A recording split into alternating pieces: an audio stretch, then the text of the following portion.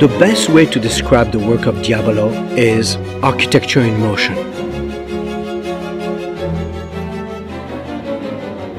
I'm interested in the relation and interaction between the human body and the architectural environment, how it is affecting us, not only emotionally but socially and physically, how the human body and the architectural environment work together.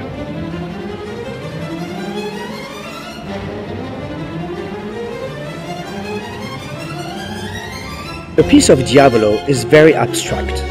There is no narrative, but themes such as human struggle, chaos, order, fear, danger, survival, freedom, destiny, destination, faith, love. When the audience are in the theater, they should feel they are in an art gallery. A piece of Diavolo is like a live abstract painting. There is no words to describe the work of Diavolo. It is visceral, it is organic. You have to experience it for yourself. It is architecture in motion.